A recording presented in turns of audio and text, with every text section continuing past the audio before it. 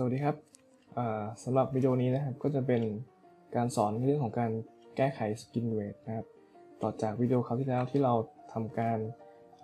ใส่ skin weight ให้กับโมเดล เพื่อให้ตัวโมเดลมันขยับได้ตามตัวกระดูกหรือว่า rig ที่เราได้ใส่เข้าไปนะครับโอเคนี้เราจะมาเริ่มทำการแก้ไข skin weight นะครับ ในการแก้ไข skin weight นะครับ อย่างแรกที่เราจะต้องคำนึงถึงก็คือสัดส่วนของ rig นะครับที่ข้างซ้ายข้างขวาต้องเท่ากันนะหรือแม้กระทั่งของโมเดลเองต้องเท่ากัน เพื่อให้มันให้เราทำงานง่ายในขั้นตอนการสกินเวทนะครับเราจะมีการ mirror skin weight จากฝั่งหนึ่งไปให้กับอีกฝั่งหนึ่งนะครับ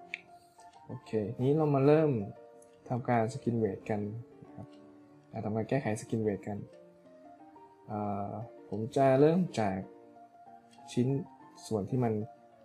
ทำการแก้ไขได้ง่าย ๆ ก่อน อย่างเช่นแขนซ้ายนะครับผมปรับเป็น FK ก่อนนะครับในการแก้ไขสกินเวทนะครับ ผมจะทำการอนิเมตให้มันด้วย เบื้องต้นนิดนึงนะครับ จัดโพสโดยการใช้ FK นะครับ โอเค ถ้าเราลองปรับเป็น FK แล้วลองโรเตทที่หัวไหล่ดูเนี่ย เราจะเห็นว่ารูปทรงของโพลีกอนแขนมันยังไม่ดีนะ มันถูกบีบเข้าไป เวลาที่เราโรเตทเข้าไปในลำตัวลำตัวมันก็จะถูกบิด เข้าไปด้วยนะครับเพราะฉะนั้นเราต้องมาแก้ตรงนี้ก่อนแล้วก็ที่ข้อศอกครับเวลาพับข้อศอกเนี่ยมันยังไม่เป็นธรรมชาตินะมันอ่าแล้วมันก็จะไปดึงสกินเวทของโพลีกอนส่วนอื่นเอามาเอามาใช้ด้วยนะรวมถึงข้อมือเอง มันก็จะพับในลักษณะที่ไม่สวยเท่าไหร่นะครับเราจะมาจัดการตรงนี้ก่อน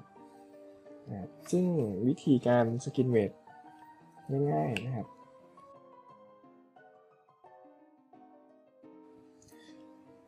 ที่ผมจะทำเป็นอันดับแรกเนี่ยก็คือการการสร้างท่า pose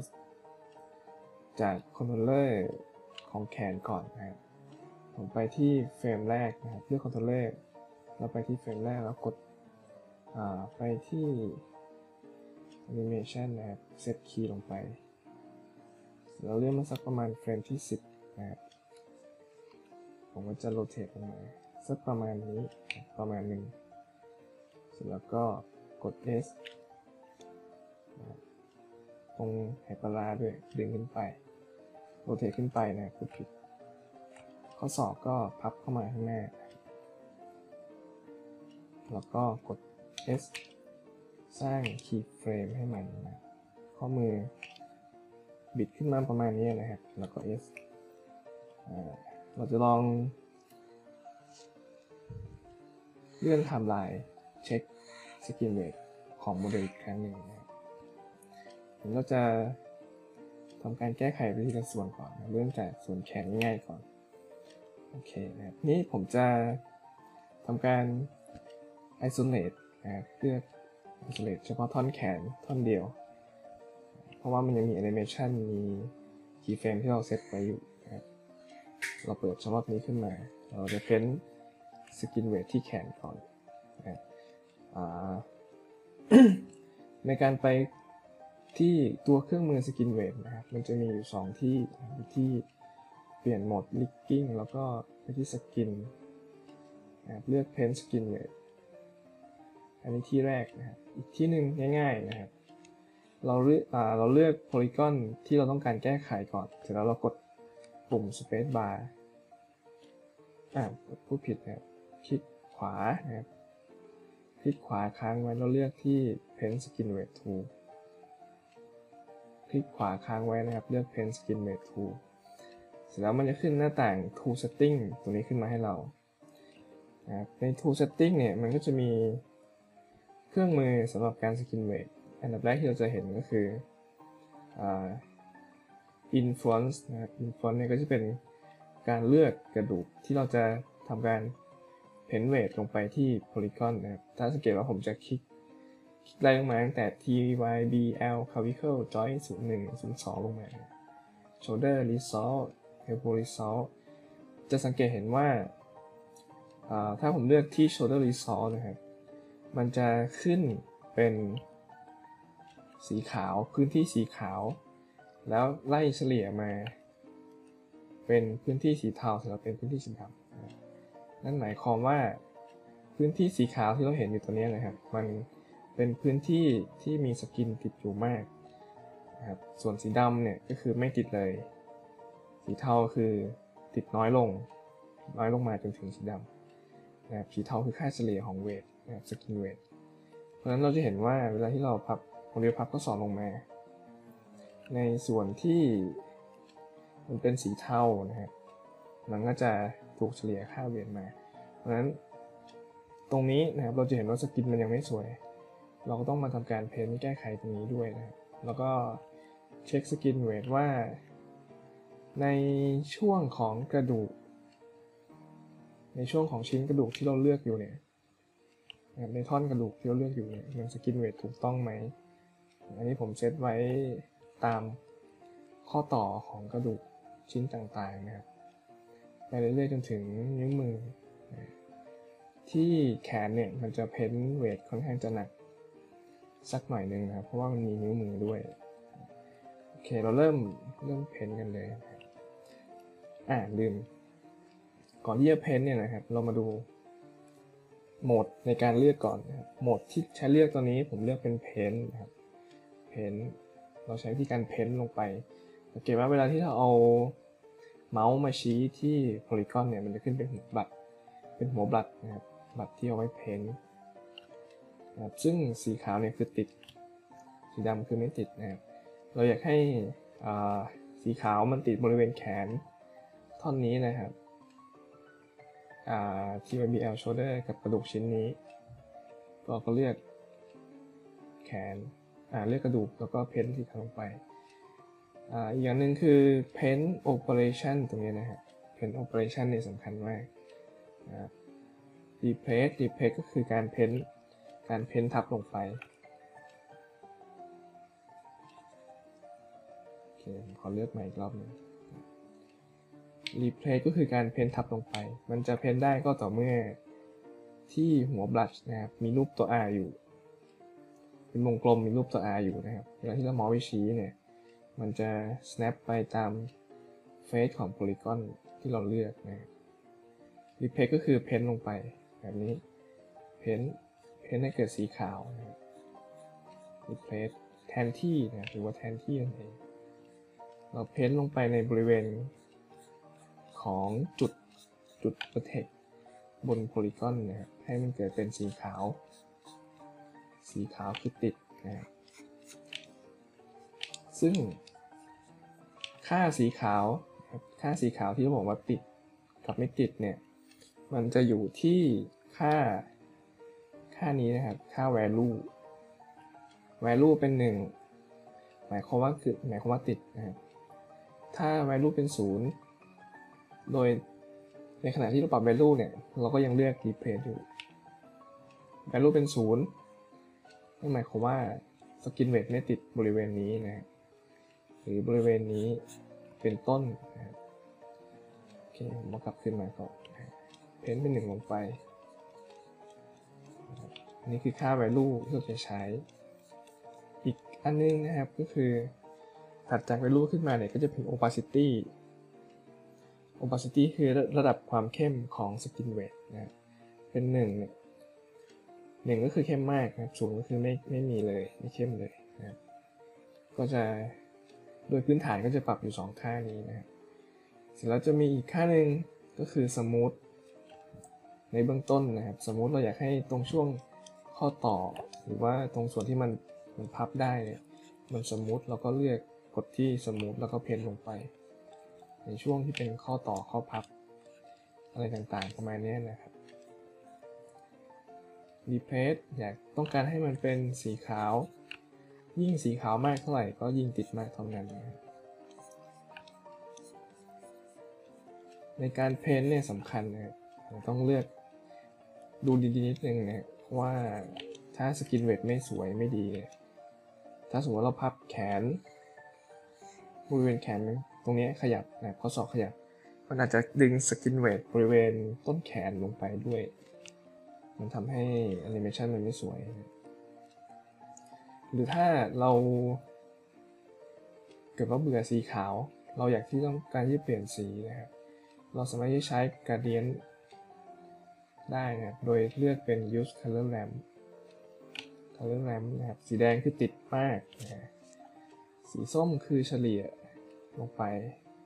สีเขียวคือก็ก็เฉลี่ยลงไปเรื่อยๆจนถึงสีน้ำเงิน สีดำสีน้ำเงินคือไม่ติดเลยนะ ที่คาเดียนการเล่นแรมเนี่ยเราสามารถจะเปลี่ยนพรีเซตของมันได้นะครับโดยที่เรายังกลับมาใช้สีขาวสีดำได้อยู่เหมือนเดิม ถ้าใครไม่ใช้การเล่นแรมก็ปิดไปนะครับ normalize weight ตรงนี้นะครับโอเค ไม่มีอะไรสโตรกสโตรกมีอะไรไหมโอเค ไม่มี โอเค เราจะใช้ค่านี้ในการเพ้นไปก่อนครับผมโดยเบื้องต้นเนี่ย ผมจะเพ้นเป็นสีขาวกับสีดำก่อนนะครับเช่นตัวนี้ผมต้องการให้ท่อนแขนต้นแขนนี้นะครับบริเวณต้นแขนเนี่ยมันมีสกินมาถึงตรงตรงเส้นข้อศอกเส้นนี้นะครับเส้นข้อศอกเส้นนี้ ผมก็จะเพ้น โดยการเลือก replace นะครับ แล้วก็ value opacity เป็นหนึ่งแล้วก็เพ้นลงไป เพ้นเทคนิคการเพ้นนะครับ เพ้นลงไปที่ตำแหน่งที่เป็นจุดจุดของโพลีกอนนะครับ จะเพ้นที่พื้นที่เฟซไม่ได้นะครับ เพ้นไปที่จุด ผมก็จะใช้วิธีนี้เพ้น ให้มันได้ครอบพับ ในรูปรูปร่างที่เป็นข้อพับประมาณนี้นะครับเวลาที่เราพับแขนลงไปนี่ในส่วนที่เราไม่ต้องการให้มันติดสกินเวทไปเนี่ยเราก็ ต้องเพ้นสีดำลงไปนะครับโดยที่ผมจะเปลี่ยนค่า value จากหนึ่งให้มันเป็นศูนย์แล้วก็เพ้นลงไปเราจะเห็นว่า ในบริเวณที่ผมเพ้นสีดำลงไปเนี่ยค่าโพลีกอนมันจะขยับขยับออกไป ด้วยค่าที่เราเพ้นลงไปมันเป็นศูนย์เราแทนที่ด้วยค่าศูนย์ก็คือไม่ติดสกิปเวทนะหมายความว่าในแขนส่วนนี้มันจะไม่ติด skin weight ของแขนท่อนบนตรงนี้นะครับ ตรงนี้ผมก็อาจจะ ลดเพิ่ม value ขึ้นมานิดนึงนะครับ เพื่อให้มันเฉลี่ยค่า weight มาหรือจะใช้ smooth ก็ได้นะครับ สมมติเรา paint ลงไป ในบริเวณข้อศอกนะครับเพื่อให้มันเฉลี่ยค่าเวทกันไป เวลาพับข้อศอกจะได้สวยงามนะครับ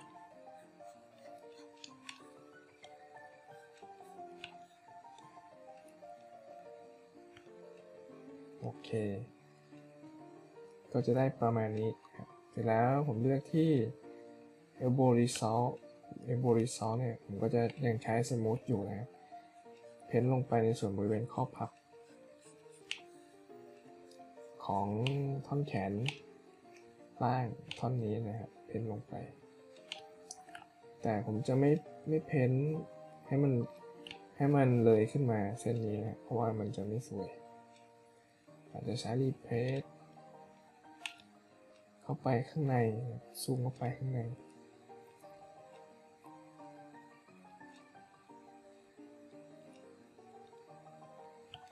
ใส่ค่าลงไป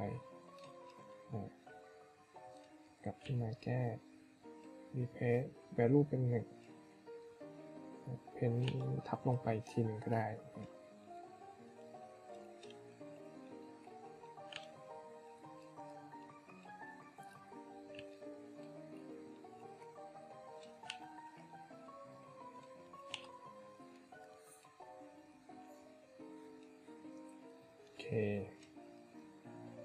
ก็จะประมาณนี้นะครับ เวลาที่พับลงมา หรือจะลองเลื่อนไทม์ไลน์กลับมาสักประมาณเฟรมที่ 5 ที่ 6 ก็ได้นะครับ แล้วก็ paint smooth ลงไปนะครับทีนี้ ในการ paint หรือว่าการปรับขนาดของหัวบัตรเนี่ยมันปรับได้นะครับ โดยการที่กดปุ่มกดปุ่ม B ค้างไว้นะครับ มันจะขึ้นเป็นสัญลักษณ์ลูกศรชี้ออกซ้ายขวา ที่หัวบลัดนะครับเราสามารถจะเลื่อนเลื่อนไปทางขวาเป็นการขยายหัวบลัดนะครับเลื่อนไปทางซ้ายเป็นการย่อหัวบัตรเราสามารถใช้วิธีนี้การปรับหัวบัตรของเราได้นะครับเราก็เพ้นลงไปเพ้นเป็นสมูทนะครับรีเพลสรีเพลสเนี่ยมาใส่ตรง ตรงช่วงนี้นะครับเพ้นลงไปเยอะๆช่วงนี้ ส่วนช่วงนี้มันเป็นข้อต่อเนี่ยก็จะพยายามให้มันสมูทนะครับโอเคประมาณนี้ ส่วนที่ข้อมือนะครับ ข้อมือผมก็จะเพ้นเพ้นสีขาวบริเวณนี้ไปก่อน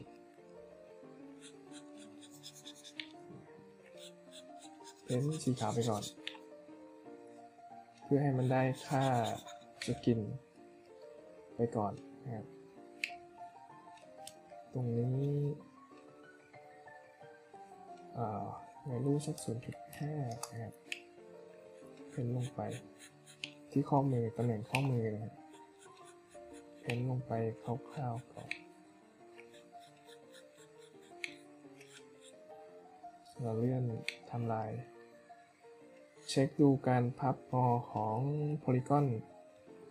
ตรงส่วนที่เรา paint ลงไปนะถ้ายังไม่สวยผมก็จะเลื่อนไทม์ไลน์มาสักระยะอ่าเลื่อนมาเลือกกระดูกอีกชิ้นหนึ่งเป็นวิสจอยเสร็จแล้วผมก็จะ paint ลงไปเลยเป็น replace นะหนึ่งลงไป ที่บริเวณฝ่ามือ ตรงนี้นะครับเอาให้เต็มๆไปเลย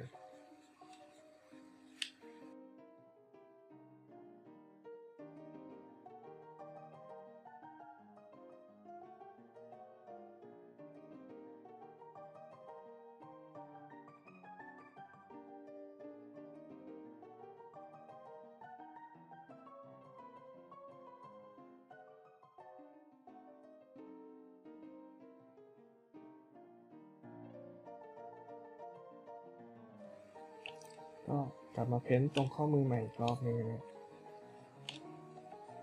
อะไม่ดี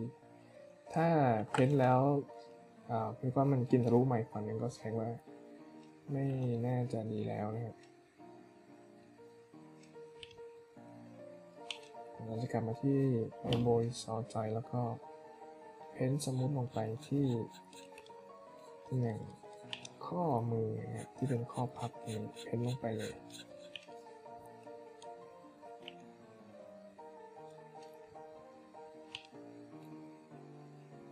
ที่ wish result เนี่ยผมอาจจะเพ้น replace เป็น เป็นค่าประมาณนี้เป็นตรงส่วนอุ้งมือนะฮะเป็นค่าประมาณนี้ ก็ใช้สมูทเพนข้างบน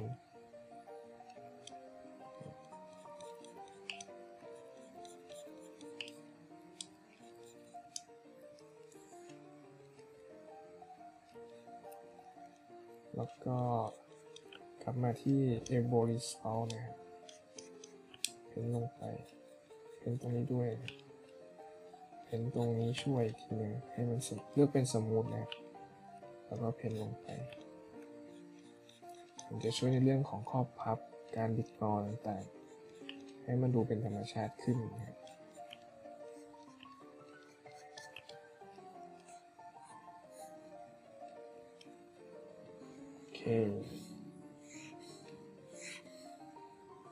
ที่ตำแหน่งแขนข้างซ้ายนะครับ ก็จะประมาณนี้ เอาเฉพาะแขนก่อนนะฮะผมขอเซฟก่อน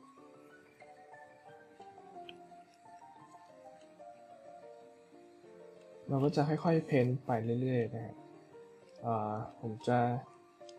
ทำจากข้างซ้ายข้างเดียวนะโอเค สมมติว่า เราเพ้นข้างซ้ายเสร็จแล้วเนี่ย เราอยากได้ข้อมูลของสกินเวทมันเอามาไว้อีกข้างหนึ่งคือข้างขวาเนี่ยนะครับ ผมก็จะทำการ copy อ่าไม่ใช่ copy นะเรียกว่า mirror skin weight โดยการเลือกแขนหรือว่า polygon ข้างที่เราต้องการที่จะ copy นะครับแล้วมาเลือกข้างที่เราต้องการที่จะให้มันไปเพจ ก็เป็นข้างขวานะผมเลือกข้างซ้ายก่อนเสร็จแล้วกดชิปเลือกข้างขวาเสร็จแล้วไปที่เมนูสกิน เลือกคำสั่ง mirror skin weight ไปที่ option ก่อนนะฮะ option ของ skin weight เนี่ยเราเช็คที่ edit reset setting มันหนึ่งทีนะครับ เพื่อเช็คว่า mirror across เนี่ยมันเป็น yz โดยที่ position มันจะเป็นอ่า posi- positive to negative ก็คือบวกไปลบ บวกหมายความว่าบวก x ไปลบ x นะบวกก็คืออทางขวามือเรา หรือว่าทางซ้ายมือของโมเดล ไปลบก็คือทางซ้ายของเราเสร็จแล้วเราก็อ่า mirror ตอนนี้ค่า skin weightจากข้างซ้ายมันจะมาอยู่ที่ข้างขวาแล้วนะลองปรับเป็น fk แบบแล้วก็เช็คที่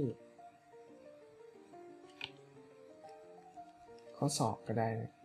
อันนี้เฉพาะแขนเฉพาะแขนอย่างเดียวก่อนนะฮะตรงเสื้อเนี่ยยังไม่เกี่ยวอของแขนเนี่ยมันก็ยังยังมีค่าสกินเวทบางช่วงที่ยังไม่ค่อยดีเท่าไหร่นะครับมาจะเปลี่ยนโฮสต์ เอาไว้ประมาณนี้นะครับแล้วก็กดคีย์ลงไป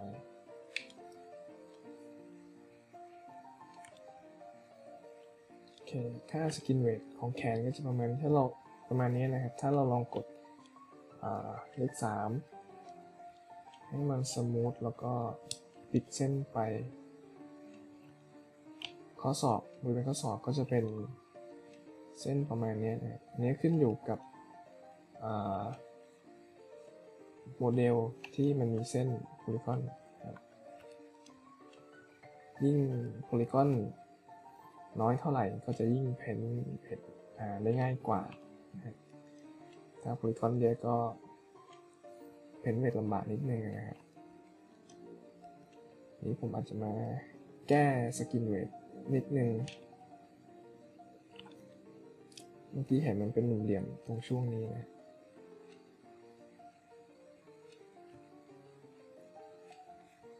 เลือก elbow นะครับเป็น shoulder แล้วก็ใส่ smooth ไป ประมาณนี้นะครับ โอเค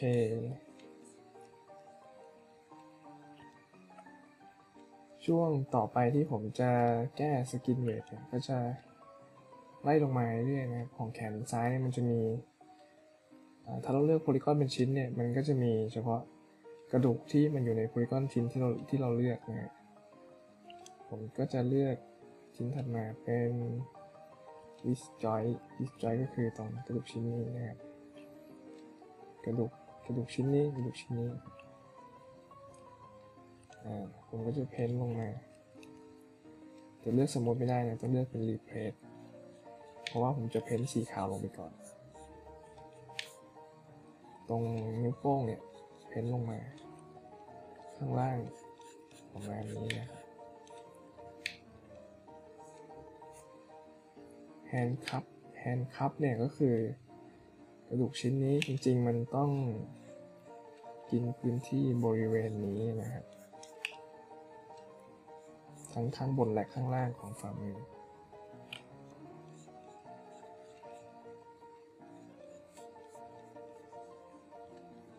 แล้วก็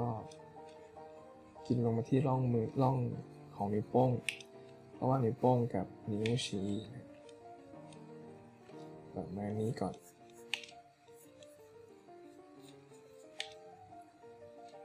ไปเช็คที่วิส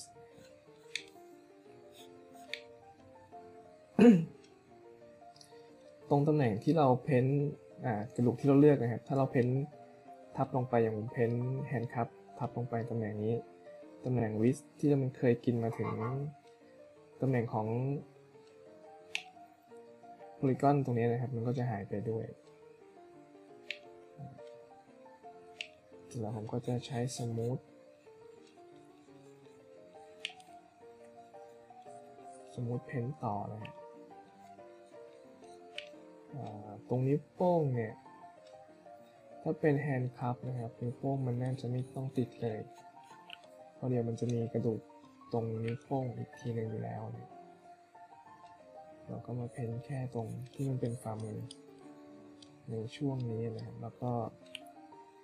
เพ้นเลยมาถึงตรงช่วงนี้ด้วยของนิ้วมือ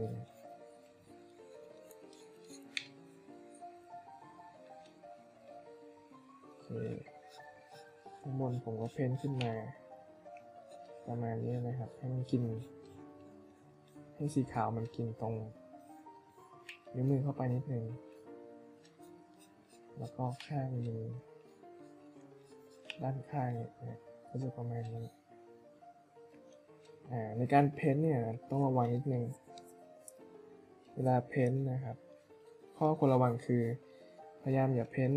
สีขาวให้มันมาติดอีกฝั่งหนึ่งอย่างเช่นตอนนี้ ถ้าเกิดใครสงสัยว่าตำแหน่งสีขาวเนี่ยที่เราเห็นเนี่ยมันอาจจะมีบางส่วนที่มันถูกมากินอยู่ในบริเวณแขนตรงช่วงนี้เราก็สามารถจะปรับขนาดหัวบัตรให้ใหญ่นิดนึงนะครับแล้วก็เลือก value เป็นศูนย์แล้วก็ paint ลงไป ในขณะที่เราเลือก hand cup ที่มันเป็นสีขาวบริเวณนี้อยู่นะครับเราเลือกสีดำแล้วเรา paint ในตำแหน่งอื่น มันก็จะถูกลบ skin สีขาว ที่มันติดอยู่กับจอยชิ้นอื่นไป เช่นเดียวกันครับนิ้วโป้งนี่ยเราเพ้นนิ้วทั้งสีนิ้วก็พยายามเพ้นพยายามเพ้นลบไปก่อนระดับหนึ่งในระดับหนึ่งโอเค ทีนี้มาถึงนิ้วแล้วนะครับทีนี้นิ้วนิ้วชี้เนี่ยเราจะเห็นได้ชัดเลยว่า พอเราเลือก ที่ index Joy หนึ่งนะครับปกติมันจะขึ้น เป็นสีขาวเฉพาะบริเวณช่วงจอยดูชิ้นหนึ่งนะครับแต่ว่าตอนนี้มันมีบางส่วนที่มันกินในฝั่งหนึ่งผมจะลบในขณะนี้ในการผมในขณะเดียวกันผมเลือก value เป็นสุขแล้วก็ลบออกไป ลบออกไปก่อน มันก็จะติดมาอีกฝั่งหนึ่งด้วย เช่นเดียวกันลบออกไป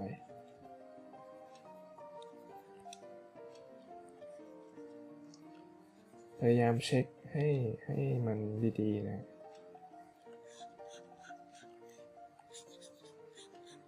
ในช่วงนี้ด้วยเสร็จแล้วผมจะเพ้นสีขาว ลงไปในช่วงอของจอยเด็กหนึ่งตรงนี้นะฮะเพ้นลงไปเลย ในช่วงของจุดโปรเทคของโพลีกอนนะครับ ตรงข้อพับเนี่ยผมจะไปเพ้นแต่ผมจะลบนี้ออกลบฝั่งจอยสองลบออกไปเลยนะฮะตรงจอยสองในบริเวณที่มันเป็นสีขาวเนี่ยมันก็ติดสกินเยอะนะ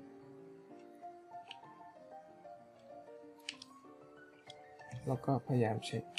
ดีๆว่ามันไม่มีข้ามไปอีกฝั่งหนึ่งมาที่ index 2 index 2 ก็เลือก value เป็นศูนย์ก่อน แล้วก็เพ้นสีดำลงไปที่ฝั่งหนึ่งที่มันติดเป็นสีขาว โอเคอ่าประมาณนี้นะครับ แล้วก็ปรับ value เป็นหนึ่ง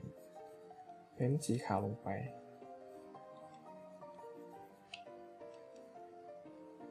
อ่าจริงๆอันนี้นะครับความ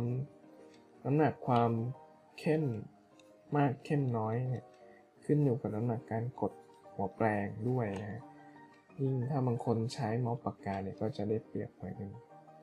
ถ้าใช้เมาส์ธรรมดาเราก็จะเสียเสียแรงในการคลิกกันให้มากหน่อยนะ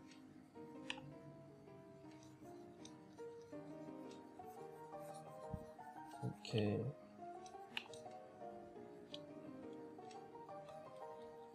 สมมติอ่านิ้วโป้งเป็นนิ้วชี้นะพูดผิด ผมจะเพ้นประมาณนี้ จะเพ้นมาถึงแค่กระดูกชิ้นที่เป็นจอยศูนย์สามนะ เพราะว่าจอยศูนย์สี่เนี่ย มันจะเป็นกระดูกปลายนิ้ว มันก็จะไม่ได้ใช้อะไรละนะครับผมก็แค่มา paint ลบมันออกไป ประมาณนี้เสร็จแล้ว ในช่วงที่มันเป็นข้อพับนะครับเราสามารถที่จะใช้ smooth ได้ smooth paint ลงไปที่ช่วงข้อพับ ช่วงนี้นะครับของนิ้วทุกของข้อนิ้วแต่ละข้อนะ paint ลงไปก่อน จริงๆที่นิ้วเนี่ยเรามีวิธีเช็คแบบเดียวกันกับที่ที่แขนด้วยนะสามารถที่จะใส่ keyframe ลงไปได้แต่เดี๋ยวเรามาเช็คที่หลังได้ตรงช่วงนี้ที่เป็นข้อพับแล้วก็ paint smooth ลงไปนะครับโอเคนิ้วที่เหลือก็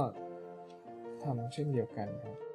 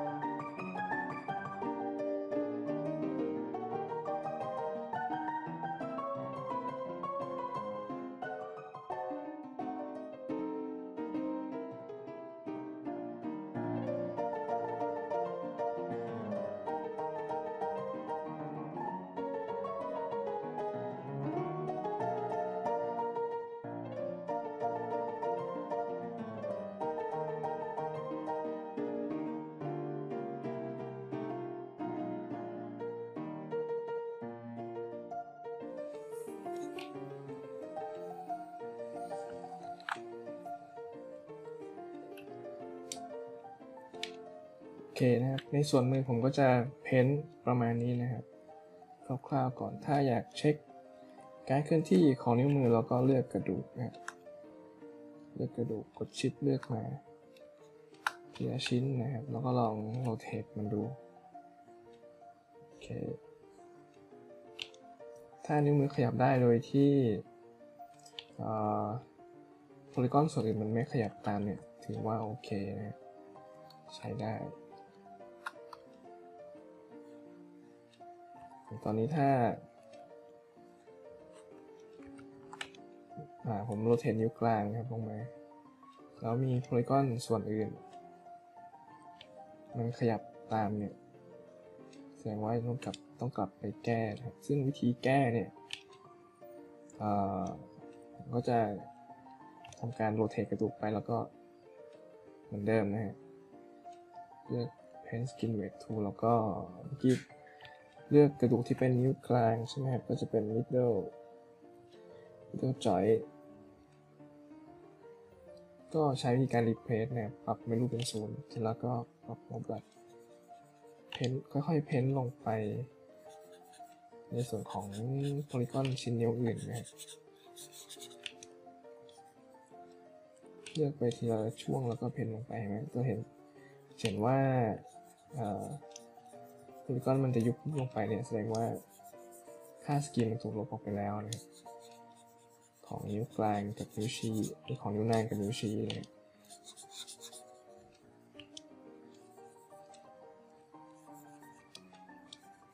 ส่วนมากเนี่ยมันก็จะติดอยู่ประมาณบริเวณนี้นะฮะ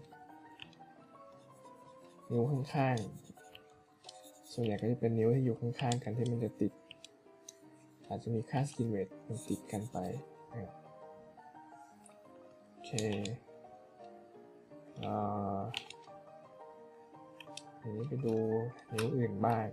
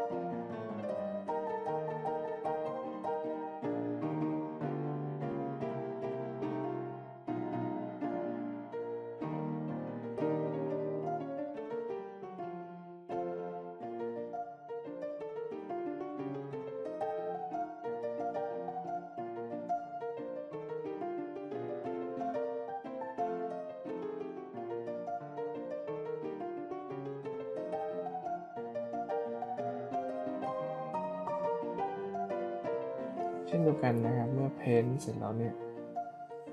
ผมก็จะ mirror skin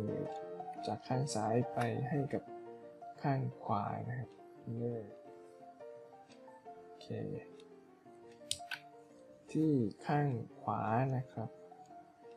มาเช็คที่นิ้วนะมาแล้วนะนิ้วโป้ง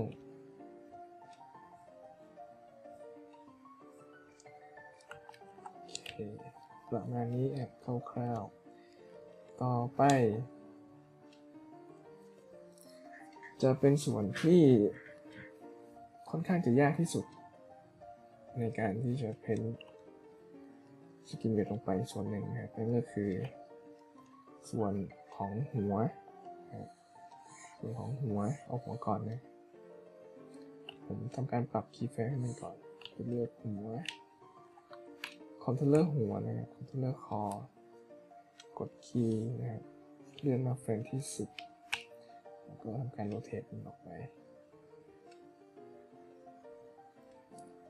สร้าง keyframeโอเค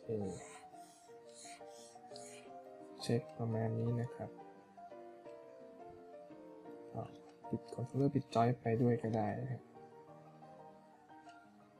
แล้วผม isolate มา ไปที่ right view นะครับ ที่หัวเนี่ย ผมจะมีวิธีการหนึ่งที่ที่จะช่วยให้เราทำงานในการ skin weight ได้ง่าย ๆ นะครับ โดยที่เรามาดูกรุ๊ปของ skin ที่มันควรจะติดกับหัวกันก่อนนะครับในเบื้องต้นลำดับแรกนะครับ joint ของหัวเนี่ยมัน con- มัน control ทั้งหัว ก็จริงนะครับ มีลูกกระตาด้วย แต่อันนี้จะมีกระดูก extra เพิ่มขึ้นมาก็คือกระดูกคางท่อนนี้นะครับ เวลาที่เราต้องการที่จะให้มันอ้าปากอ้าปากเนี่ยจริงๆ กระดูกท่อนนี้มันจะเป็นทำหน้าที่เป็นกระดูกขากรรไกรนะเพราะนั้นเวลาที่อ้าปากเนี่ยมันก็จะมาเฉพาะปากด้านล่างตรงส่วนนี้เท่านั้นนะฮะมาถึงตรงโคน ขากรรไกรบริเวณนี้ เพราะฉะนั้นผมจะแบ่งที่หัวนะครับ ผมจะแบ่ง skin ออกเป็นสองส่วน ส่วนแรกเนี่ยก็คือส่วนที่ติดบนหัวมาถึงจมูกแล้วก็ถึงริมฝีปากด้านบนแล้วก็มาถึงคอช่วงนี้ ซึ่งวิธีการเลือกเนี่ย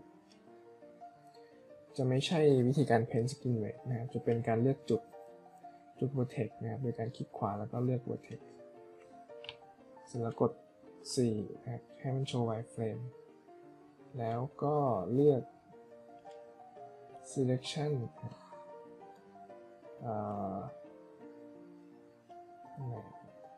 เป็น selection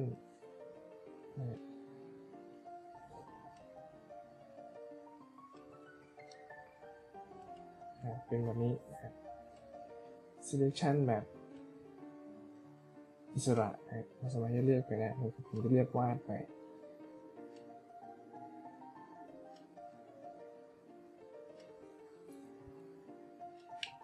เลือกให้ได้ประมาณนี้นะครับ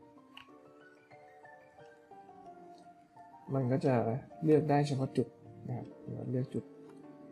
เลือกจุดที่ต้องการนะครับ เช่นริมฝีปากด้านบนเนี่ย ก็กด Ctrl Shift นะครับ เลือก โอประมาณนี้นะต้นคอกระดูกปากด้วยนะครับ มันจะเลือกเฉพาะส่วนที่เราต้องการให้เราไปนะครับซึ่งจุดตัวนี้ มันจะทำงานกับคำสั่งที่ชื่อว่า component editor นะครับจะไปที่ general editor แล้วก็เลือกที่ component editor นะครับที่ Windows general editor แล้วก็ component editor ใน component editor นะครับ มันก็จะมีการตั้งค่า edit ต่างๆ มากมาย รวมถึงค่าสมมติสกินครับอย่างเช่นตอนแรกที่เราเปิดมาเนี่ยเราจะมาที่ Spring ก็ได้นะครับให้เราเลือกมาเรื่อยๆนะครับจนถึงคำว่า smooth skin เป็น tab tab หนึ่งนะครับใน smooth skin เองเนี่ย มันก็จะมีค่า skin ต่างๆ ที่จุด ในบรรดาจุดที่เราเลือกอยู่เนี่ยมันถูก skin อยู่แล้วนะซึ่งตำแหน่ง skin weight ของจุดที่เราจะให้มันติดจริงๆเนี่ยจะเป็นกระดูกหัวเพราะฉะนั้นจะเป็นกระดูกที่ชื่อว่าจอยขออภัยหายไปไหนแล้ว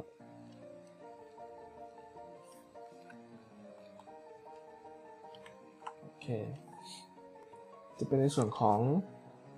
กระดูกที่ชื่อว่า head joint นะครับ TYB head joint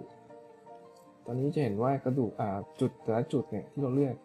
มันถูก skin ไปกับกระดูกชิ้นอื่นด้วยนะ มีกระดูก spine 3 spine 4ด้วย จริงๆ มันต้องมีแค่ head อย่างเดียวเลยเพราะนั้นเราเลือกจุดแล้วนะเมื่อเราเลือกจุดแล้วเนี่ย ผมจะทำการเปลี่ยนนะครับ ตัวเลข ของจุด vertex ตั้งแต่ vertex 0นะครับที่5ลงมาจนถึงจุด vertex ที่ 1388 จากเลข0เป็นเลข1เลข0คือไม่ติดนะครับเลข1คือติด เพราะนั้นเราจะเห็นว่าตัวเลขที่ไม่มีอยู่เนี่ยมันมีมันเป็นตัวเลขที่เป็นจุดทศนิยม เพราะนั้นมันก็คือติดบ้างไม่ติดบ้างนะเราจะเปลี่ยนตรงนี้ วิธีการเปลี่ยนก็คือผมจะเลือกครับคลิกเมาส์ซ้ายลากออกมา ลากคลิกเมาส์ซ้ายค้างลากออกมาเรื่อยๆนะลากออกมาเรื่อยๆจนถึงจุด vertex จุดสุดท้ายนะครับหนึ่งสามแปดแปดเสร็จแล้วเนี่ย ให้เราใส่ตัวเลขหนึ่งลงไปหนึ่งแล้วกด enter มันจะเปลี่ยนจุดทั้งหมด ให้ค่าสกินเวทเป็น 1 ก็คือติดที่กระดูกหัว head joint ตัวนี้นะครับ สร็จแล้วเนี่ยผมจะเลือกอจุด vertex ในส่วนคางในส่วนที่เป็นคางทั้งหมดตรงไหนไม่ติดเราก็กด Control Shift Control Shift ลากครอบไปรอบหนึ่งก็ได้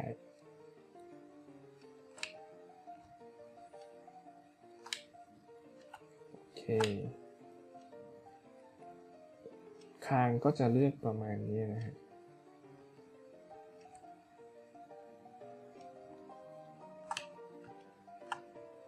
โอเคนี่เป็นกระดูกในส่วนของคางนะคางเนี่ยจะเป็นกระดูกชิ้นที่ชื่อว่าจอจอยศูนย์หนึ่งนะฮะผมก็จะเลือกทั้งหมดเสร็จแล้วก็ ใส่เลขหนึ่งลงไปนั่นหมายความว่าตัวนี้จุดโปรเทคทั้งหมดที่เราเลือกมันติดไปกับจอยคางเรียบร้อยนะครับ ก็แบกออกมา เลือก skin weight pen skin weight tool ครับไปดูที่ neck ดูที่ head joint เห็นไหมเราจะเห็นว่า ตรงช่วงที่เราเลือก head joint ตรงจุดที่เราเลือกเมื่อกี้นะครับ มันก็จะกลายเป็นสีขาว ทั้งหมดของ head นะครับของจอ ของจอก็เช่นเดียวกันของคางทั้งหมดนะครับเอ่อจอ N ไม่ใช่ neck เนี่ย neck จะเป็นกระดูกคอชิ้นนี้นะครับ เป็นกระดูกคอชิ้นนี้นะครับเดี๋ยวก่อนที่จะเริ่มทำการ paint skin weight เนี่ย ผมขอทำการอนิเมตคางก่อนนะครับ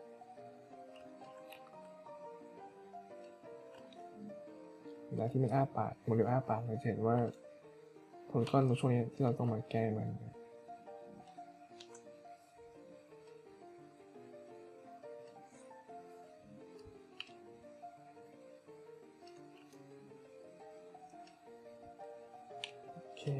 ทีนี้มาเริ่ม paint skin weight กัน ในส่วนของกระดูกหัวกับคางก่อนนะครับ ที่เราทำการเลือก skin weight ให้มันเมื่อกี้เอคางก่อน ตรงคางเนี่ยนะครับผมก็จะมาเพิ่ม skin weight ในส่วนของริมฝีปากตรงช่วงนี้นะเป็นการเลือก value เป็นหนึ่งแล้วก็ paint แก้ลงไปนะครับ ให้ติดเป็นหนึ่งเนี่ยเสร็จแล้วตรงช่วงในระหว่างปากเนี่ยนี้นะครับผมจะเลือกเป็น smooth แล้ว paint smooth ลงไปนะครับเป็นค่า skin weight ที่เป็น smooth ลงไป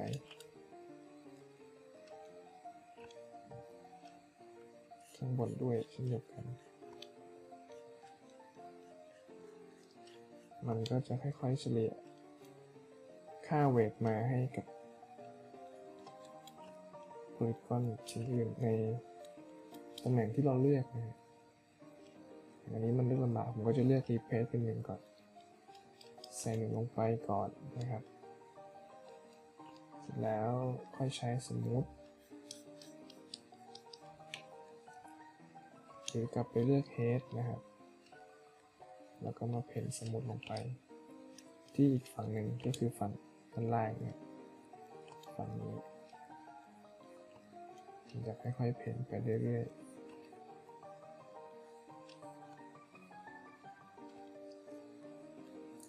มันต้องเพ้นทั้งข้างนอกแล้วก็ข้างในให้มันเท่าๆกัน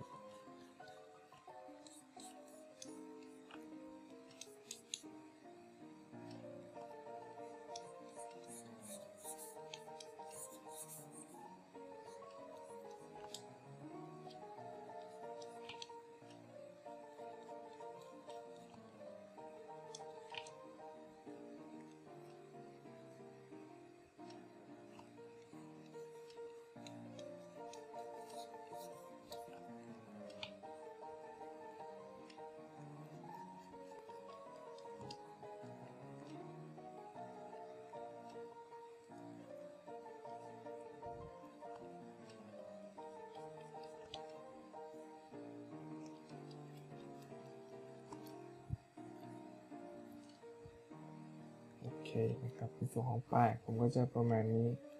เสร็จแล้วผมก็มาไล่ตรงคอตรงนี้ด้วยนะครับโอเคเพนได้แล้วเรากลับไปที่เฟรมเริ่มต้นที่เฟรมหนึ่งแล้วลองใช้ Miller Skin Weight คูณหนึ่งรอบนะครับเราลองเลื่อนเลื่อนทำลายมาเราเพ้นข้างเดียวอีกข้างนึงมันจะ Miller Skin Weight ไปให้เราเองอัตโนมัติ ส่วนตรงปากตรงนี้นะครับ เราจะ เอาไปไว้ เอาไปตอนที่เราแก้ไขเป็นเชฟทำเป็นเชฟให้มันให้มันแสดง expression ต่างๆนะตอนนี้เราทำให้มันแค่อ้าปากได้ไปก่อนนะครับโอเคผมจะเพ้นเพิ่มในส่วนของคอลงมานะครับในช่วงนี้ผม paint smooth ไปก่อน ช่วงระหว่างรอยต่อของคอกับหัวเนี่ยนะครับ ผมจะใช้เป็น smooth เนี่ยแล้วก็ replace ลบบางส่วนออกไป เสร็จแล้วก็ใช้ replace เช่นเดิมครับเปลี่ยน value เป็นหนึ่งเพ้นลงไปตำแหน่งของคอ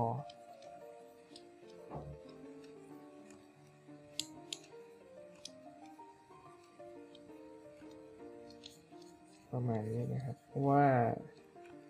กระดูกคอชิ้นนี้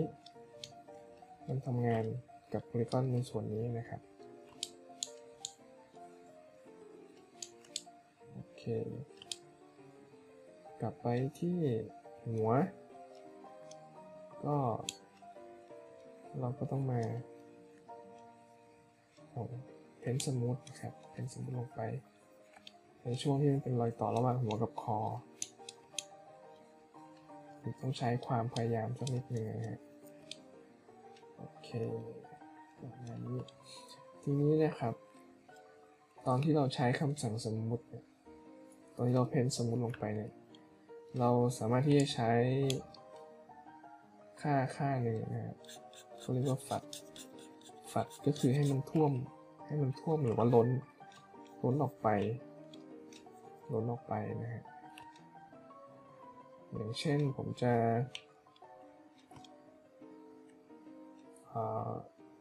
ให้ค่า smooth ของหัวเนี่ย มันล้นลงมาข้างล่าง ผมก็จะเลือก smooth ก่อนนะฮะเสร็จแล้วกดปุ่มนี้ครับปุ่ม flat หนึ่งที่เห็นไหมมันจะเฉลี่ยค่า skin weight ลงมาให้เราอย่างสวยงาม แล้วก็จะล้นลงมาข้างล่างด้วย อันนี้เราก็กลับมาแก้อีกทีนึงเลือกที่ neck แล้วก็ flat อีกทีนึง นะครับเสร็จแล้วที่ neck เนี่ยผมก็จะมาลบตรงช่วงนี้ออกไป เพราะช่วงนี้เป็นกระดูกเป็นของกระดูกไหปลาร้าแล้วก็กระดูกส่วนของ spine เนี่ยก็คือกระดูกสันหลัง ที่เรา skin ให้มันไป การทำงานของกระดูกคอมันก็จะมีอยู่ประมาณนี้นะครับทีนี้ผมจะ paint ลบออกไป head head ด้วยนะบางส่วนของคอเนี่ยผมก็จะลบต้องเพนลบออกไป แก้ไขให้มันดูสวยงามนะครับ ของจอ ของจอด้วย จอจะสมูทตรงช่วงคอสักนิดหนึ่งนะฮะโอเคประมาณนี้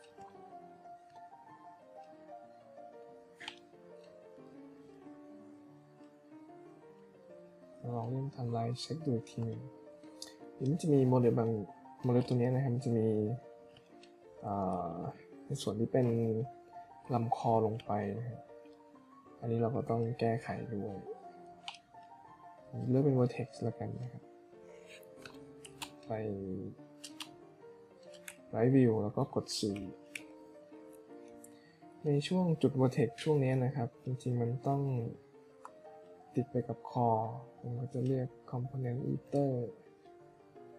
เป็น neck head ครับ ใส่ลงไป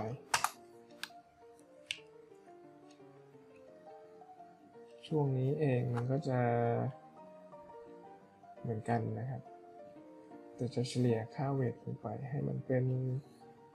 0.5นะครับเวลาที่คอขยับไป มันก็จะไม่ทัด react อันนี้มีนิดหน่อย ก็ไม่เป็นไรนะครับ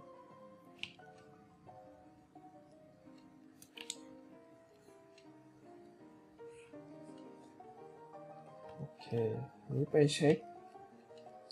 ส่วนอื่นบ้าง อย่างกระดูกไหปลาร้านะครับ ที่มันขยับไต้ตรงส่วนนี้ ก็จะเซ็ตคีย์นะครับหน้าอก เช่นหน้าอกด้วยก็เช่นเดียวกันนะครับเซตคีย์ดึงขึ้นมาสักหน่อยหนึง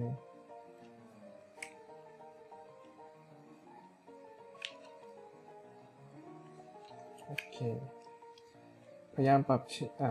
าเชฟหรือว่าปรับโพสให้มันเป็นโพสที่มันดูเอ็กซ์ตรีมหน่อยหนึงนะเราจะได้เช็คการเคลื่อนไหวเวลาที่โมเดลมันขยับ หรือว่าเคลื่อนไหวไปแบบสุดๆ มันจะเป็นยังไงนะครับ ผมมาทำในส่วนของลำตัวด้วยเคนะครับจะประมาณนี้จะได้เห็น ในส่วนของการเคลื่อนไหวที่มันมันดู extreme นิดหน่อยนะโอเคเรายังทำงานอยู่ที่หัวอยู่นะครับที่หัวเนี่ย ผมจะ paint ต่อในช่วงของไหปลาร้านะครับ กระดูกไหปลาร้าก็จะเป็นเอ่อ clavicle joint นะครับ clavicle joint ผมก็จะเพ้นไป replace เป็นหนึ่งในช่วงแขนช่วงนี้นะครับจนมาถึงช่วงกลางๆประมาณนี้ ส่วนหลังเนี่ย มันจะเป็นของกระดูกชิ้นนี้นะครับ มันก็จะเป็นกระดูกที่ชื่อว่าสปายสามสปายสามเนี่ยนะครับ มันจะไม่ทำงานกับเน็กเพราะฉะนั้นผมจะลบมันออกเลือกกระดูกสปายสามแล้วก็รีเพลซเป็นศูนย์ ลบมันออกไป เฉพาะข้างหน้านะครับ ข้างหลังเนี่ยเดี๋ยวต้องมาเพ้นให้มันติดนะครับเลือกเป็นรูปเป็นหนึ่งนะครับ เพ้นข้างหลังไป ทั้งข้างซ้ายแล้วก็ข้างขวานะครับ ให้มันกลางออกมาประมาณนี้โอเคอาจจะข้างหน้าด้วย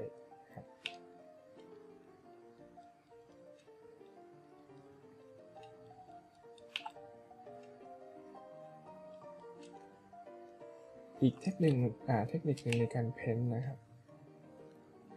ถ้าต้องการค่า symmetry เนี่ยผมพยายามจะ paint มาถึงแค่ตรงกลางประมาณนี้เฉพาะข้างซ้ายนะครับพอเวลาที่เรา mirror skin weight ไปเนี่ยมันก็จะได้ไม่มีปัญหาอะไรเสร็จแล้วค่อยมาใส่ค่าสมูทลงไปที่ clavicle นะครับ แล้วก็ส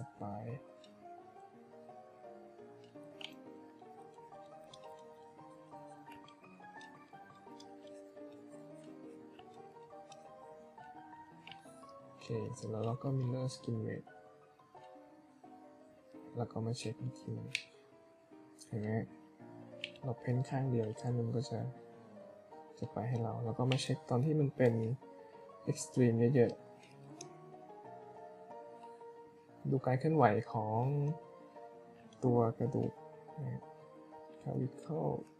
โอ เค้นแก้ลงไปอีกรอบหนึ่งได้นะครับด้านซ้าย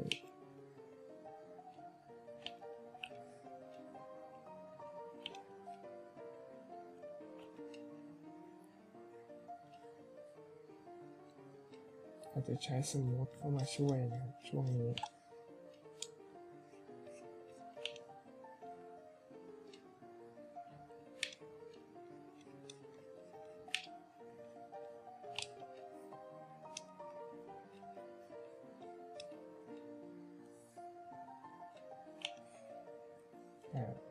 องฝัดนิดหน่อยนะแล้วก็ดูผลลัพธ์ โอเค ได้ประมาณนี้แล้วก็กลับไปที่จุดเริ่มต้นแล้วก็สกอ่ามิเลอร์สกินก็สำหรับหัวกับคอ ก็จะประมาณนี้นะครับ ไปดูที่เสื้อเสื้อเสื้อกันบ้างนะครับ เสื้อเนี่ยมันก็จะคล้ายๆกัน เอา shoulder ก่อนนะครับ shoulder resolve ก็คือกระดูกชิ้นแขนต้นแขนตรงนี้นะครับ shoulder resolve ก่อน เพราะนั้นท่อนอื่นกระดูกชิ้นอื่น เราก็ต้องลบออกไปครับลบสกินเวทออกไปก่อน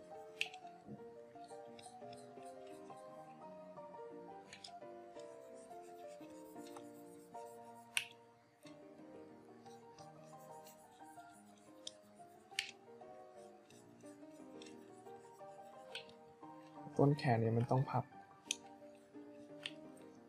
ต้องพับท่อนแขนด้วยนะครับเพราะฉะนั้นเอ่อกระดูกในส่วนผู้ผิดนะครับสกินเวทในส่วนนี้ มันก็ต้องกินมันอยู่ประมาณนี้นะครับที่เหลือส่วนอื่นเราก็ต้องเพ้นออกเหมือนกัน บางทีมันอาจจะซ่อนอยู่ข้างในด้วยนะเราต้องเช็คดีๆ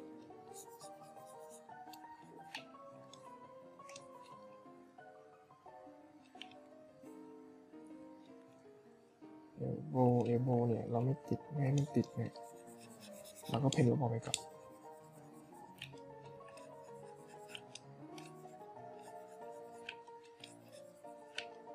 ตำแหน่งการเพ้นอะไรต่างๆเนี่ยมันขึ้นอยู่กับลักษณะของกระดูกหรือว่าโครงสร้างลิกที่เราใส่มาแล้วก็โครงสร้างของโมเดลด้วยนะครับ มันอันนี้มันจะไม่เหมือนกันนะครับ โอเคเราลองเช็คโอเคจะได้เพ้นท์มาตั้งแต่เข้าวิเข้าก่อนลบเข้าวิเข้าเนี่ยก็ลบอีกเช่นเดียวกันครับแต่เข้าวิเข้าเนี่ยมันจะ มันจะมีผลแค่ช่วงนี้เท่านั้นนะครับมันจะไม่มีผลมาข้างล่างเพราะฉะนั้นตรงช่วงข้างล่างเลยลบออกไปลบออกไปเลยนะ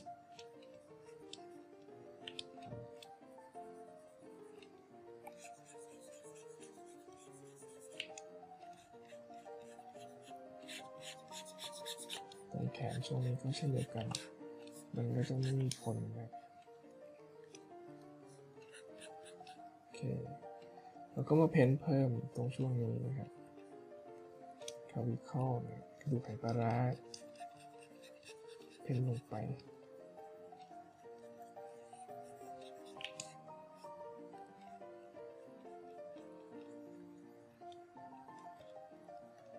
เราลองเช็ค ดู skin weight ในช่วงที่มันเป็น extreme เยอะอีกรอบหนึ่งเนี่ยก็จะเห็นว่า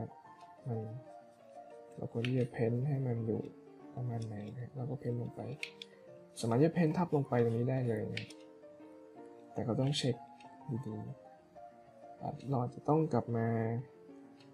เช็คที่จอยที่เป็นสปายด้วยนะ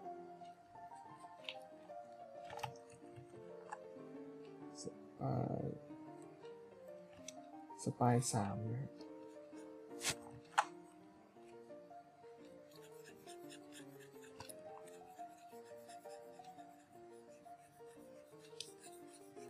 มันจะเพ้นลบไปก่อน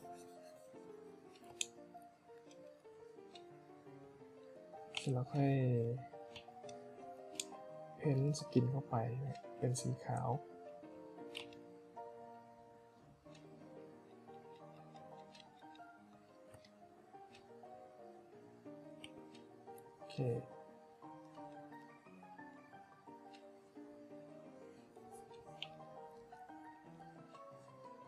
ช่วงนี้ก็ลบนะครับลบออกไปก่อน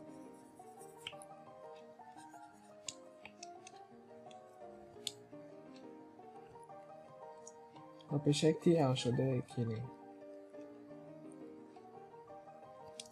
มีข้อนี้ก็ลบออกไป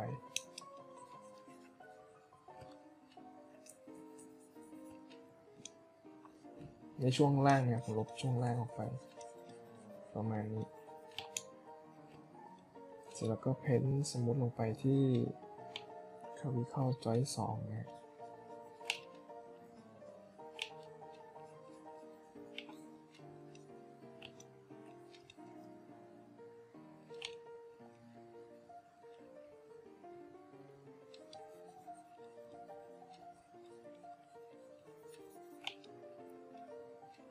นี่ต้องลบออกไปเสร็จแล้วค่อยใส่สมูทอีกทีหนึ่งนะ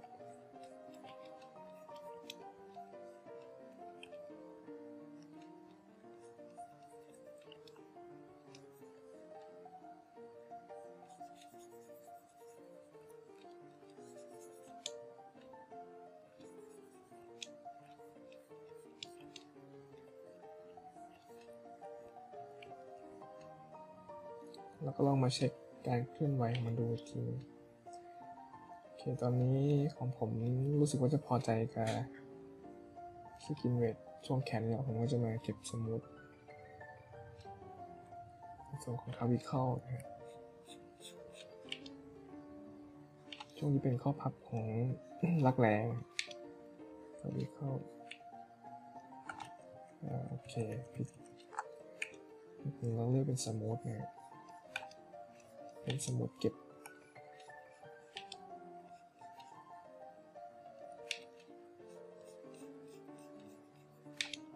shoulder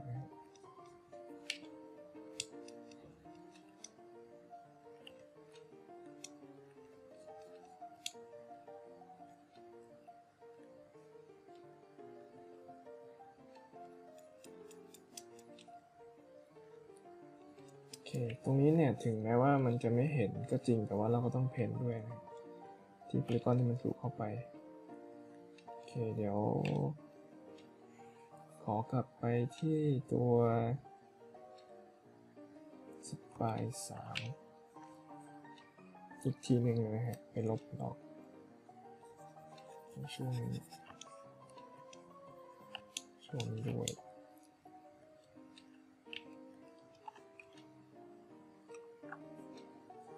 ในช่วงนี้แล้วก็รีเพลย์ลงไป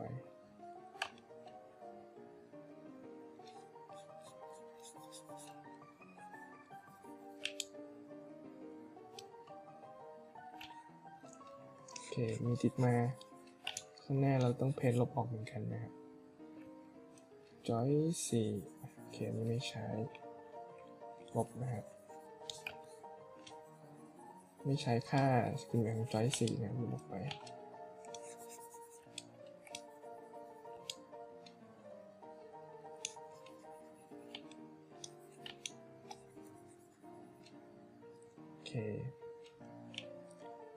มาดูที่ตำแหน่ง skin weight ของ spine joint สองกันบ้างนะครับ spine joint สองเนี่ยมันอยู่บริเวณนี้ผมก็จะ paintค่าสกินเวทหนึ่งลงไปนะครับ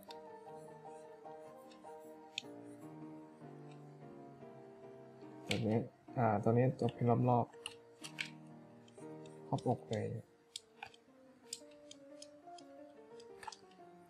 ในช่วงนี้นะครับลงไป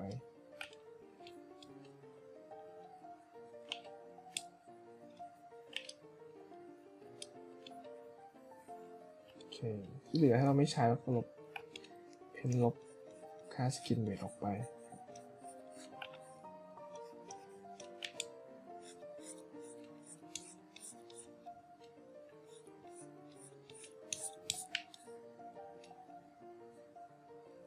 โอเคเราเพ้นให้มันเป็นรูปทรงประมาณนี้ก่อนเดี๋ยวเราค่อยมาแก้ไขทีนึงตรงไหนที่เราใส่สมมติได้เราก็ใส่ใส่ไปก่อนนะจอยหนึ่งจอยหนึ่งเนี่ยอยู่บริเวณนี้แล้วก็เลยแล้วก็ต้องมาเพ้นให้มันเต็มบริเวณนี้ลงไป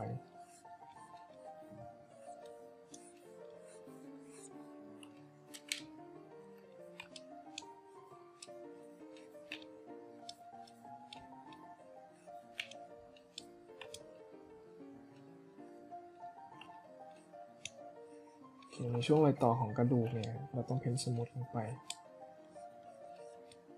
อะประมาณนี้นะครับตัว root joint เนี่ยนะครับ เป็นบริเวณนี้ทั้งหมดเลย แล้วก็เราก็เพ้นลงไป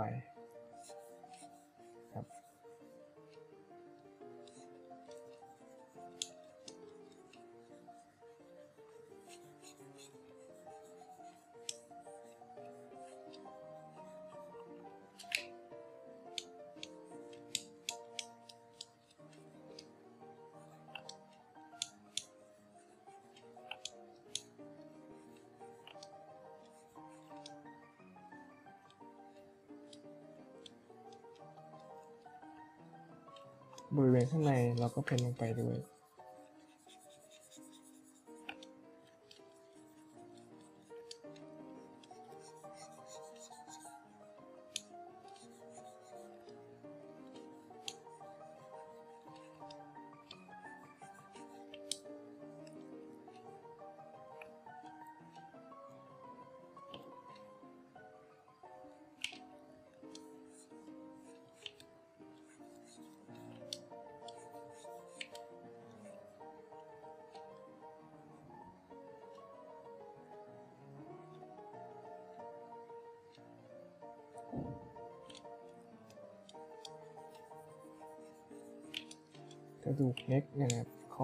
จะ กินมาถึงเสื้อด้วยแล้วก็ต้องลบออกไป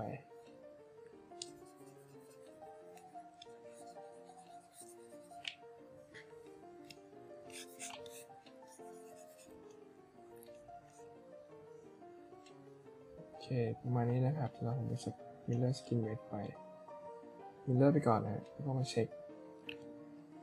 อ่ามีบางส่วนที่เราต้องไปแก้นะครับ ประมาณสักห้าเนี่ย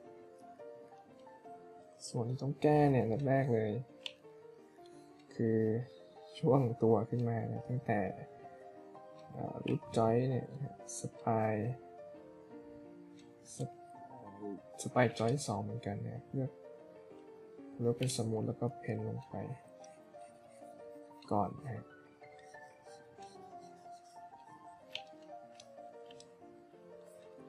หรือถ้าใครที่เกียจเพ้นก็ใช้ฝัด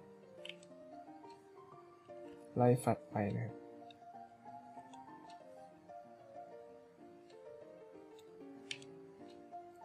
แต่ทั้งนี้ทั้งนั้นเนี่ยเวลาที่เราฝัดไปเเราก็ต้องกลับมาแก้เช่นเดียวกันนะครับเราจะต้องลบลบบางช่วงออกไปในส่วนของสกินเวท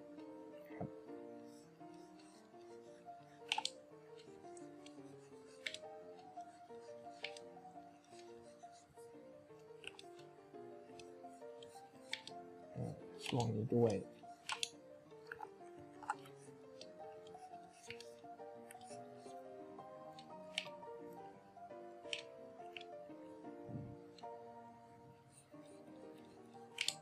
เราจะอาจจะใช้ smooth เพิ่มค่า smooth ให้มันอีกนะ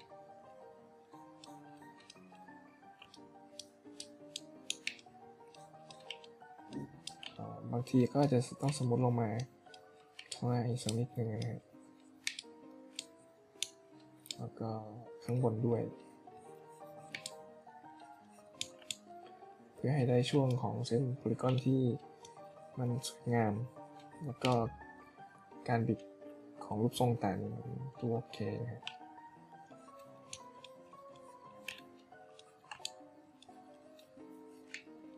โอเคอาจจะมีเน็ กระดูกคอ เมื่อกี้ลบออกไปนะจริงมันต้องมาใส่ตรงนี้ด้วยผมจะมาเพ้นใส่เข้าไป ที่บริเวณด้านหลังคอเสื้อนะครับตรงนี้เพ้นท์ลงไปประมาณนี้นะครับ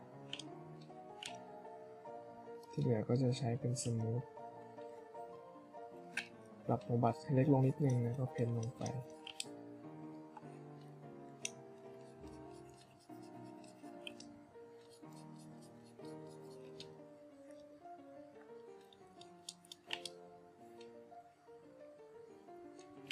เราก็มาเช็คดูการเคลื่อนไหว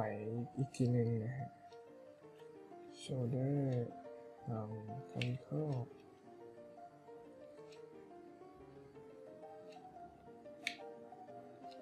จริงๆคาร์บิคอลมันต้องกินตรงนี้ด้วย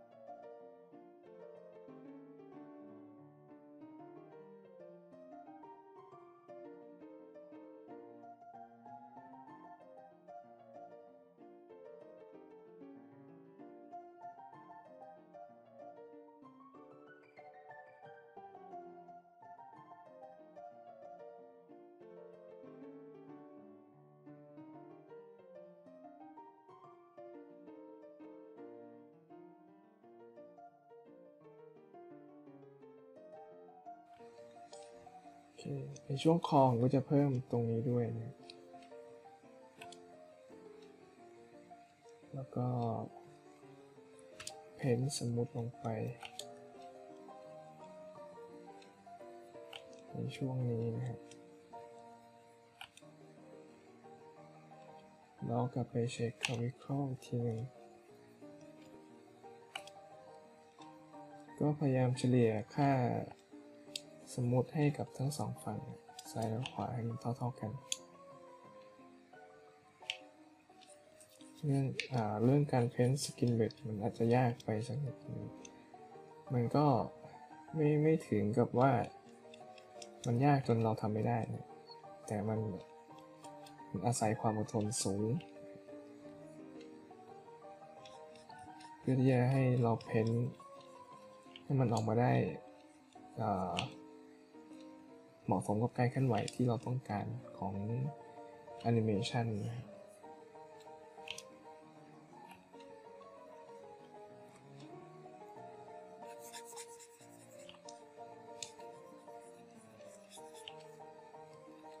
โอเคเสร็จแล้วผมลอง Miller Skin w e i g h ไปอีกข้างหนึ่งดู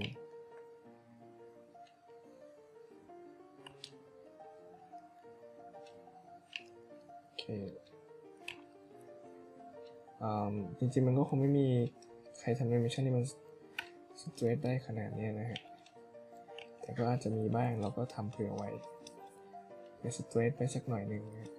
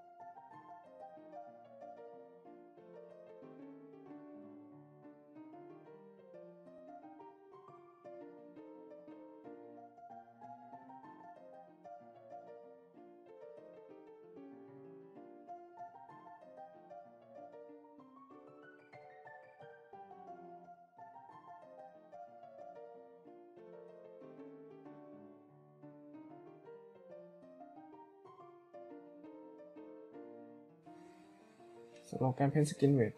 เบื้องต้นคร่าวๆก็จะประมาณนี้นะครับ ในส่วนอื่นเนี่ยไม่ว่าจะเป็นขากางเกงรองเท้า เราก็ใช้วิธีเดียวกันนะ paint ตาม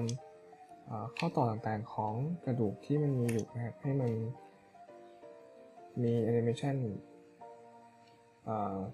ของการเคลื่อนไหวที่ที่มันสมบูรณ์แบบนะครับประมาณนี้นะครับคร่าวๆ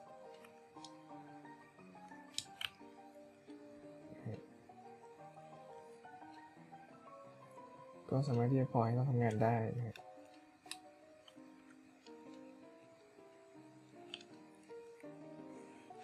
ทีนี้พอเราลอง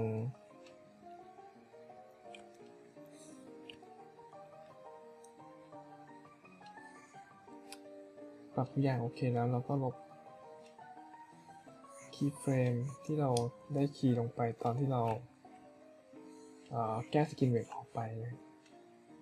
เสร็จแล้วก็ save อีกทีหนึงโอเคในส่วนอื่นๆเนี่ยอย่างขากางเกงอะไรพวกนี้เราก็ทำเช่นเดียวกันนะครับ